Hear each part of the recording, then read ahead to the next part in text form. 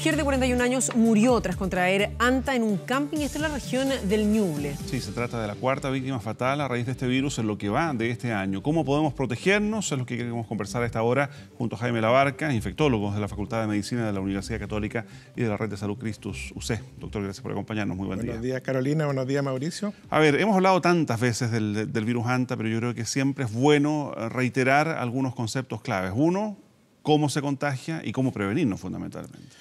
Claro. Eh, solo quiero decir que el, virus ANTA en Chile lo conocemos desde el año 95, o sea, tenemos harta historia y mm. haciendo muy buena investigación y aporta a nivel mundial desde el año 2000, o sea, hay 20 años en que particularmente la Universidad Católica y la Universidad del Desarrollo han liderado una, investigación con harto aporte y conocimiento de lo que pasa con el virus ANTA en Chile.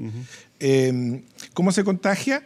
Esencialmente eh, son los ratones colilargos, ¿no es cierto?, eh, que eh, en sus orinas y ese ellos tienen el virus, eh, pero no se enferman del virus. Entonces, eh, cuando los lugares que habitan ratones eh, quedan las deposiciones y la orina y eso se transforma en aerosoles y las personas cuando están en contacto con esos aerosoles lo inhalan. Aerosoles básicamente el, polvillo, digamos. claro, queda, en el aire. Queda en el aire, digamos, son partículas que quedan en el aire y se inhalan. Por eso que uno de los principales eh, factores es entrar a una bodega vacía, porque ahí habitualmente hay ratones, ¿no es cierto? Y, entonces... Eh, eh, uno se puede, puede inhalarlo. O, al momento de acampar, digamos, en medio de un O al momento de acampar, o al momento de sacar matorrales, por ejemplo, de, eh, sacar matorrales, por desmalezar, por ejemplo, abrir una bodega vacía, eh, estar en un lugar que está infectado, está lleno de ratones, ¿no es cierto? Todos esos son factores que aumentan el riesgo de, contagiarse con virus ANTA. Para aquellas personas que van a salir de vacaciones, que pueden ir a una cabaña, tal vez que haya estado cerrada, también tener la precaución de abrir y ventilar antes de, ingresar. Ah, absolutamente. Se recomienda, una de las cosas importantes, cuando uno llega a un lugar que ha estado cerrado mucho tiempo, abrirlo y dejarlo abierto por 30 minutos mm. antes de ingresar, particularmente las bodegas, particularmente porque las casas en general están más protegidas de los ratones, eh, pero las bodegas son muy importantes. ¿Las mascarillas sirven? Se recomienda que cuando uno va a ir entrar a una, no a una casa habitualmente, pero sí a una bodega, por ejemplo. O al desmalezar, como usted eh, decía. O en desmalezar, usar una mascarilla para evitar, ¿no es cierto?, que eh, estos aerosoles puedan ingresar. ¿Cualquier mascarilla eh, sirve? Por ejemplo, una bodega que, que uno sabe que tiene ratones, eh, la idea es, eh, es, abrirla y cuando uno va a abrir, esa, y la persona que va a entrar, ojalá usar una mascarilla. El ideal es usar una mascarilla que se llama N95, que es una mascarilla que tiene mayor eh, filtración. Eso es lo que se recomienda al Ministerio de Salud, pero no sé si es tan fácil de encontrar en farmacias o en todas las farmacias. Doctor, cuando, cuando hablamos del virus Santa en general lo relacionamos siempre con los ratones, pero tengo entendido, y según estaba, estaba leyendo, ha habido en la provincia de Chubut, en Argentina, una, varios casos, ya 30 si no me equivoco, en los cuales se ha visto un contagio persona a persona. ¿Estaría mutando este virus? ¿Sería distinto? ¿Es cierto que hay un contagio ya no necesariamente con este gas del roedor, digamos, con las heces del roedor? muy buena pregunta porque el virus, se conoció el ANTA primero en Estados Unidos con un virus que se llama virus sin nombre. El virus Andes, que es el virus que afecta al sur de Chile y Argentina, es un virus distinto, tiene particularidades distintas. Y desde eh, los comienzos de los brotes, en, particularmente en Argentina, se detectaron algunos casos en los cuales había posibilidad de transmisión entre personas, una persona enferma eh, y que contagiaba a una persona sana. Eh, eso hace muchos años, pero eh, con el tiempo y los estudios, parte de los estudios que se han hecho aquí en Chile, han demostrado que el virus sí se encuentra en la saliva eh, y que, eh, por ejemplo, un estudio de contacto de pacientes con ANTA en la casa demuestra que la gente que habita en la casa de una persona que se enferma de ANTA, confirmado, tienen un muy bajo riesgo, 3%, menos 5% de tener ANTA, ¿de acuerdo? 3% o algo así. Pero la persona que tiene un contacto más cercano, eh, como el que la persona que habita en la misma pieza, la pareja de, la persona, eh, probablemente tiene un riesgo más alto que el resto de la casa. Ya, pero se ha determinado cuál es la forma de contagio. La salida. El virus, el, virus, se ha mostrado en la salida y una de las cosas que se está recomendando, por ejemplo, en Argentina, es que eh, la gente que toma mate comparte, comparte la bombilla. Entonces, eh, se, piensa que a lo mejor la bombilla y el contacto de la saliva a través de la bombilla hace que eh, se pueda transmitir esto. De hecho, eh, tengo entendido que una de las personas que falleció en Chile se podría haber eventualmente contagiado a través de ese mecanismo con una persona enferma que enfermó de Argentina. Recordemos cuáles son los síntomas para aquellas personas que, de nuevo, están por salir de vacaciones o pueden correr el riesgo de estar en contacto con un lugar que tenga eh, ratones o que estén por viajar, digamos, de alguna forma para tratar de identificarlo lo antes posible y así recurrir a un centro asistencial. Claro, el, síntoma cardinal es fiebre, es como un cuadro gripal eh, y lamentablemente no es muy específico, entonces puede ser cualquier cosa y eso hace a veces que la gente se alarme innecesariamente. O que se confunda con una gripe, efectivamente. O se confunda, claro, porque existen igual los cuadros virales en esta época, incluso los virus digestivos de esta época no dan síntomas respiratorios ni congestión nasal, entonces son más desorientadores o se parecen de alguna manera más al virus ANTA. Entonces es fiebre. Pero fiebre asociado a alguien que abrió una, una gran, que estuvo en campamento, que estuvo desmalezando o que fue contacto, hoy en día se incluye que fue contacto de alguien que enfermó de ANTA, esa persona tiene que ser estudiada y vigilada. ¿Y cuál es el tratamiento allí para eh, Perdón, eh, después de cuatro o cinco días empieza lo que se llama el síndrome cardiopulmonar y la característica fundamental es el ahogo. La persona empieza a sentir dificultad para respirar y a respirar más rápido. Eso ya es un poco tardío, pero eso significa que hay que correr a un servicio de UCI y después trasladarlo a un servicio que pueda eh, dar tratamiento. Respecto a tratamiento, era la pregunta, Mauricio. Respecto al tratamiento, eh, lo más importante, bueno, es que eh, los médicos puedan sospecharlo. La sospecha va por el antecedente, este cuadro clínico que yo ya les conté, y algunos exámenes en laboratorio pueden ser bien orientadores, particularmente el hemograma, el examen de, de sangre general, tiene algunas particularidades que uno le dicen, ya, esto puede ser. Eh, bueno, y con eso uno debiera ya claramente establecer la hospitalización y eventualmente pedir el examen confirmatorio. Eh, uno pide radiografía de tórax, ¿no es cierto?, para ver si hay compromiso pulmonar y el examen confirmatorio es una técnica que se llama PCR, una técnica molecular que detecta partículas del virus y eso puede estar en 24 horas el resultado. ¿Están los centros de salud preparados justamente para ese diagnóstico? Hay, eso lo pregunto porque muchos de los casos se han registrado en el sur, donde también sabemos hay alguna falencia. Pero hay centros de confirmación, por ejemplo, en la Universidad Austral en Valdivia hay centros de confirmación, la Católica y el ICP son los que confirman finalmente los casos, pero la PCR está disponible en otros centros y, y en los servicios de salud se conoce el centro de derivación para cada cual. Eh, entonces, eso es muy importante, porque si uno espera la serología, en los exámenes habituales de detección de virus, eso puede demorar más, puede demorar hasta 14 días en hacerse positivo. Entonces, este examen requiere un diagnóstico más precoz. Y es clave el tiempo, además, que esto debe, ocurrir el, el, menor tiempo posible, ¿no? Cuando la persona ya tiene un síndrome cardiopulmonar, hay que ir a un centro de alta complejidad, por dos motivos. Porque necesita estar en una UCI, pero no cualquier unidad intensiva, sino una unidad que tenga la posibilidad de hacer ECMO. ECMO es sacar la sangre de la persona, oxigenarla por fuera y volver a reintegrarla. Entonces se llama oxigenación extracorpórea. Entonces se derivan habitualmente a centros de más complejidad en, hospitales cabeza de región, digamos, o hospitales acá en Santiago, clínicas que, que tengan los recursos para eso. Eso es fundamental. El ECMO y el otro eh, pilar fundamental es el suero inmune o hiperinmune que se ha tomado de convalecientes que sobrevivieron, ¿no es cierto?, al, virus ANTA. Entonces, con ese suero se ha trabajado, ¿no es cierto?, y eso se le puede inyectar porque hay que inyectarle anticuerpos contra el virus para neutralizar el virus. Esas dos cosas...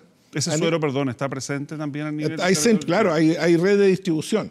Entonces, esas dos cosas han hecho que la mortalidad que originalmente cuando empezamos con esto en el año 2000, eh, por ahí, ¿no es cierto?, después del año 95, que era de 40%, ha bajado a 20, entre 20 y 30%, dependiendo del año, ¿no es cierto? alto igual. Perdón, ¿y por qué la oxigenación de la sangre contribuye a que el virus pierda, pierda fuerza o, el cuerpo logre eh, eh, pelearle, digamos, la enfermedad? Ah, sí, buena pregunta. No es que uno saque el virus no, es la, sangre la que se oxigena.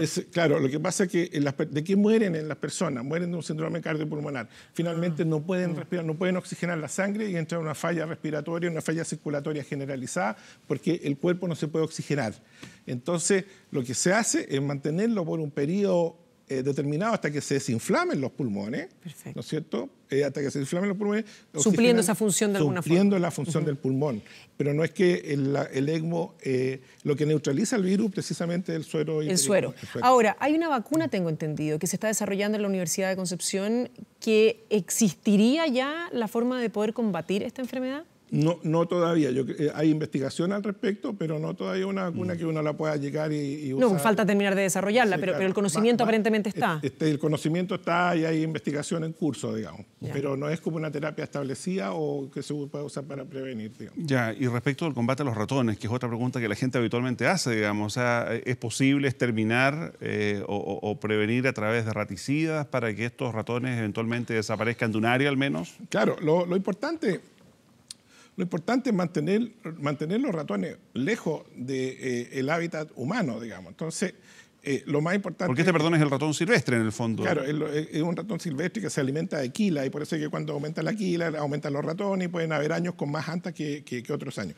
Entonces, lo más importante es que dentro de la casa se tomen todas las medidas para derratizar, eh, guardar la comida, ¿no es cierto? Todo eso desmalezar y tener todo el área, perímetro, sobre todo en las, en las casas eh, eh, que, están en lugares de campo, ¿no es cierto? Todo el perímetro, digamos, mantener un perímetro sin eh, arbustos sin, y sin basura. El tema de la, de la, eliminación de basura hace cuando la basura queda ahí o cuando los desechos quedan ahí. Por ejemplo, la gente que desecha un sillón y lo deja al lado de la casa, pero para atrás. Ese es un hotel de ratones. Un hotel de ratones, es perfecto. Entonces, todas las cosas que no se van a usar se tienen que botar y tiene que estar todo el perímetro de la casa eh, eh, eh, limpio, ¿no es cierto?, para evitar que tenga ratones. Entonces, todas esas medidas ayudan. Pero este, insistimos, este es un ratón más campestre, digamos. Es, poco frecuente verlo en las ciudades, ¿no? Lo, que uno ve en la ciudad es la laucha, en el fondo, o el guarén. O el guarén, claro. Eso es lo grande. Sí, este es un ratón que viene más del campo, pero cuando hay comida se acerca a las casas. Entonces, si usted le deja la comida botada ahí o le deja ese sillón, claramente se acerca a las casas, sobre todo en los lugares que no son ciudades eh, eh, urbanas. Y me imagino que en años de que son más secos y más calurosos, donde hay menos quilas, se acercan más a los, sectores urbanos. Y por otro lado, en Argentina, donde hemos visto tanta tormenta, con la cantidad de lluvia, me imagino que debe parecer algo similar, porque crece más la quila, por lo tanto hay más... Crece más la quila, más comida, entonces y se, reproduce, mucho más. Quiero solo los números, digamos, que, manejamos, que eh, en general eh, el año, eh, el año 2016 hubo alrededor de 50 casos, el año 2017 hubo, un, un, exceso de casos, hubo 90 casos, mm. pero el año pasado tuvimos solo 33 casos y hasta ahora, en enero, llevamos 5 casos, mm. de los cuales eh, y lo que se habría esperado para esta época, ya terminando enero, es llevar unos 9 o 10 casos. Entonces, igual estamos en incidencia un poquito más bajo, siguiendo la tendencia del año pasado. Lo que nos preocupa un poco es que de los 5 casos, tres por lo menos han fallecido. Y eso sí, eso, eso, igual es delicado. A pesar de que la mortalidad en general la hemos ido bajando. ¿Y son los meses de verano los, que presentan mayor cantidad de casos en general? Sí, claro. Si uno mira, si uno mira las curvas... Usted tiene acá, perdón, no sé si podemos mostrarlo aquí eh, sí, Yo, yo, tengo otra. A ver, eh, esta, esta, esta, está mejor. ¿Ya? Si uno mira las curvas, en general... Eh, y puedo mostrar. Eh, estos son los meses de comienzo de año, eh, el 2017, comienzo del 2018. Sí, ahí está. De tal manera, claro, de tal manera que eh, los curvas, la, la, parte más alta de cada año corresponden a los meses de diciembre, enero, febrero, marzo y abril. Son, son Si uno mira la curva del 2017, que la se ve con, con mejor detalle, porque es la más grande, ¿no es cierto? Eh, diciembre, enero, febrero, marzo y abril están ahí precisamente, y todos los años se repite lo mismo. Hacia el invierno, esto va disminuyendo. Hasta el invierno, esto va disminuyendo. Eh, y, o sea, es ahora donde hay que tener mayor cuidado. claro, y tiene que ver con que eh, se acerca más el humano al ratón y el ratón se acerca más al humano, digamos. Eh, no solamente está el tema de las casas, sino todo lo que son excursiones, y, ir a, invadir un poco el hábitat de los ratones, porque como usted dice, silvestre, claro, entonces todo lo que son excursiones, senderos que, no son... Eh, delimitados, delimitados, ¿no es cierto? Todas esas cosas también favorecen de alguna manera que que la gente, de que exista más, más contagio. ¿Considera usted que falta campaña? Porque en definitiva estamos hablando de esto y estamos en, a fines de enero, ya, ya empezando casi febrero, mm. cuando muchas personas ya fueron de vacaciones, ya salieron, ya pudieron haber tenido el riesgo de, y, o no tenían la, información, o no conocían al respecto, como decía Mauricio al principio. Mm. Lo hablamos mucho, pero todavía aparentemente existe desinformación, más aún cuando vemos que este virus puede ir cambiando, mutando, y ahora se conoce de casos en los mm. cuales se puede contagiar persona a persona, tan simple como tomar un mate. Bueno, yo no, no, no, no diría... Eh, lo que pasa eh, es que eh, hay campañas, Eh, yo creo que, y, hay datos y hay mucha vigilancia, o sea, yo creo que se hace la pega desde el punto de vista, ¿no es cierto?, de la autoridad de salud. Eh, los medios ayudan muchísimo, usted es increíble cómo aportan una cantidad de información a la gente, eh, pero llevar esto de a que la gente cumpla todas las cosas, ¿no es cierto? Eso es más difícil. Y al final del día eh, a veces pasa de que la gente no, no eh, valoriza, ¿no es cierto?, la situación de riesgo adecuadamente. No, pero de pronto un volante, alguna información básica en zonas de camping. eso siempre ayuda, eso siempre ayuda. Y probablemente las zonas de camping debiera tener una vigilancia y una Es que hemos visto, perdón, por lo mismo, hemos visto en años anteriores campañas activas desde el Ministerio de Salud o desde otros organismos que por lo menos este año no han aparecido. No han aparecido, sí de, todas maneras. Pero, eh, pero la información yo creo que la gente la tiene. De hecho, a veces sobre reaccionan cuando ven un ratón, digamos, eso... eso pero, pero, a veces, como hemos visto, es mejor sobre reaccionar a no reaccionar. A, veces mejor sobre reaccionar a no reaccionar. De todas maneras, porque la enfermedad sigue teniendo una mortalidad que es, super, eh, que es bien alta, aún un 20%, mm. es muy alto, digamos, es muy alto. Afortunadamente, eh, los números de casos, por lo menos el año pasado, bajaron comparado con los dos años anteriores y bajó el año pasado tuvimos como un tercio menos de los casos comparados con el 2017. Eh, y este año, ojalá hasta aquí, no, tampoco aparece mm. un, eh, un, aumento desmedido. Al contrario, tenemos menos casos de lo que habríamos esperado como para un año habitual, aún, aún teniendo un brote grande en Argentina, porque en mm. Argentina sí que están con, una situación, situación importante. Seguir alerta entonces. Eh, pero hay que estar súper alerta y, la información y, recalcarle a la gente todas las medidas de protección, porque creo que eh, no hay que eh, valorar en menos las mm. situaciones de riesgo, digamos, el hecho de las bodegas, todas estas cosas que hemos conversado, ¿no es cierto? hay que tenerlas muy presentes. Bueno, por lo mismo, gracias por su tiempo y por habernos acompañado. muchas gracias a ustedes por esta oportunidad. Buenos días.